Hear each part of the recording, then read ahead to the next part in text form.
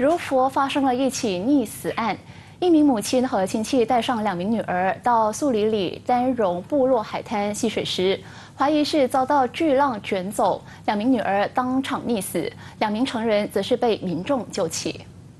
这起事件在下午大约三点半发生，消整局接获投报后立刻到场救援。不过为时已晚，十岁的女童和她十三岁的姐姐双双溺死。所幸当场的民众及时发现，救回了死者的四十六岁母亲和她的亲戚，年龄为二十七岁。两名伤者已经送到邻近的医院就医，事发原因还在调查中。据了解，事发海滩有插上红色的旗帜，警告民众要提防巨浪，不要在海滩戏水。